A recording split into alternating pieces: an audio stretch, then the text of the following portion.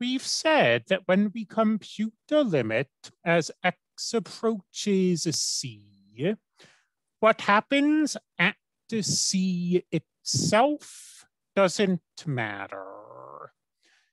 Let's try to drive that home by looking at some related examples. Here are three functions, f, g, and h. And these functions are almost identical to each other. In fact, they are identical to each other, except at a single number. At three, they're different.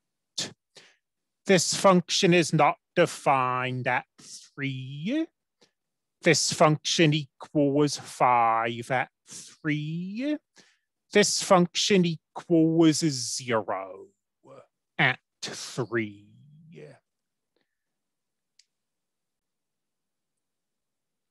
Uh, excuse. But everywhere else, they're identical. Here's F, here's G, here's H.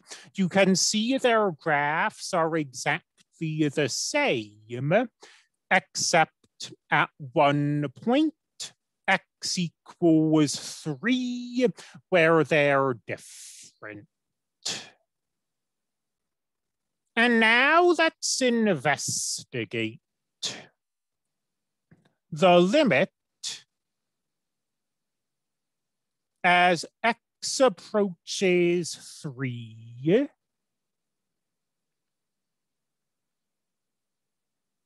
of f of x. And we'll investigate this using a table, just as we did in our first example. And from this table, you see we've got x versus f of x.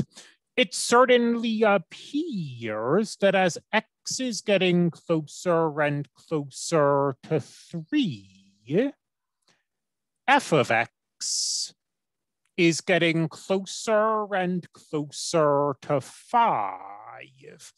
And you'll notice one number conspicuously absent from this table. We do not ask what happens at three itself. We only ask what happens as x approaches three. And from the table, it looks like as x approaches three, f of x approaches five. What about the limit as x approaches three of g of x? Well, remember our observation that these functions are identical everywhere except for three. Here's the table for f of x. Here's the table for g of x. They're identical because the one number where f and g are different, three, isn't allowed to be on this table. So as x approaches three, g of x approaches five, just like f of x does. What about the limit as x approaches three of h of x? Well, again, these functions are all identical. The only point where they differ is at three itself. And when we construct these tables, we don't look what happens at three itself. So the table for h of x is exactly exactly the same as the table for g of x is exactly the same as the table for f of x.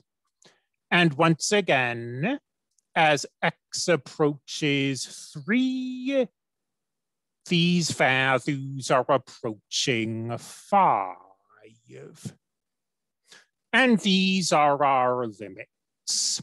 And the fact that at 3 itself, these functions take on different values did not affect the limit. If you take the limit as x approaches 3, x does not equal 3. And similarly for any number. If you take the limit as x approaches c, what happens at C doesn't matter, only what happens near C.